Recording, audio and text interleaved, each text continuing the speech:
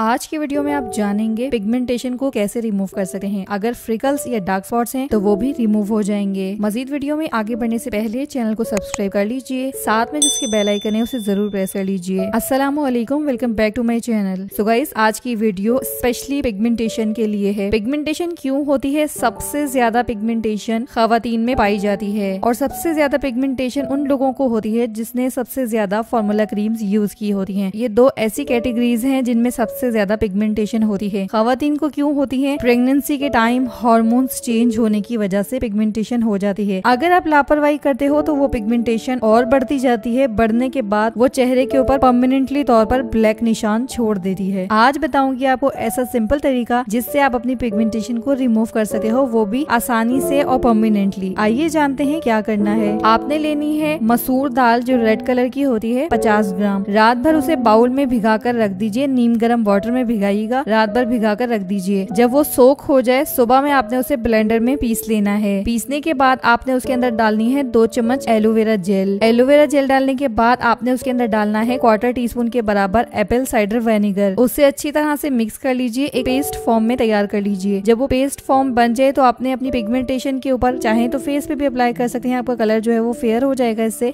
लेकिन अगर आप पिगमेंटेशन पे लगाना चाहते हैं आपका कलर ऑलरेडी फेयर है तो पिगमेंटेशन पे उसे अच्छी तरह से लगा लीजिए लीजिए कि आपके फेस पे एक मास्क नजर आए उसके बाद आपने उसे 20 से 25 मिनट ऐसे ही छोड़ना है छोड़ने के बाद आपने अपने फेस को अच्छी तरह से धो लेना है सिर्फ नॉर्मल पानी से यानी नीम गर्म पानी से आप अपने फेस को धो लीजिए रे, रेगुलरली आपने ऐसा करना है अगर आप इसे दिन में दो बार कर सकते हैं रात सोने से पहले भी आप ये अमल कर सकते हैं तो अच्छी बात है नहीं तो आप दिन में एक बार जरूर कीजिए दो बार करेंगे तो जल्दी रिमूव होगा एक बार करेंगे तो भी रिमूव हो जाएगा आहिस्ता आहिस्ता लेकिन दो बार करेंगे दिन में तो जल्दी से वर्क करेगा उसके बाद रात को सोने से पहले अपना चेहरा धोना है और सादी प्लांट की एलोवेरा जेल लगानी है आपने प्लांट से एलोवेरा जेल निकालनी है और अपने फेस पे अप्लाई करना है और सो जाना है जहाँ भी पिगमेंटेशन है वहाँ पर अप्लाई कर लीजिए जब वो ड्राई हो जाए तो सो जाइए सुबह मॉर्निंग में आपने अपना चेहरा धोना है देखिएगा आपको अपनी पिगमेंटेशन बहुत कम कम नजर आएगी टू सिंपल स्टेप्स है पहला आपने फेस मास्क लगाना है दूसरा आपने सिर्फ और सिर्फ एलोवेरा जेल रात में लगानी है और सुबह में अच्छे से फेस वॉश से चेहरा धो लेना है बहुत आसान है सिंपल तरीका है आप अपनी पिगमेंटेशन को इन दो स्टेप्स के जरिए रिमूव कर सकते हैं अगर आप मार्केट की क्रीम्स लगाते हैं तो मैं काफी सारी ऑलरेडी क्रीम्स की वीडियो बना चुकी हूँ पिगमेंटेशन के हवाले से आई बटन पे क्लिक करके आप उनको भी वॉच कर सकते हैं एक और बात मैं आपको बता दूं कि अगर आप मार्केट की क्रीम यूज करते हो वो बहुत ज्यादा एक्सपेंसिव होती है और फिर दूसरी बात ये होती है कि हर बंदा अफोर्ड नहीं कर सकता रेमेडी बताने का मकसद सिर्फ ये होता है कि हर कोई बंदा अफोर्ड भी कर सके और हर एक इंसान आराम से लगा सके और घर में वो चीज हर एक इंग्रेडिएंट मौजूद हो अगर आपके पास एप्पल साइडर एक्स्ट्रा वनीगर नहीं है तो उसको स्किप भी कर सकते हैं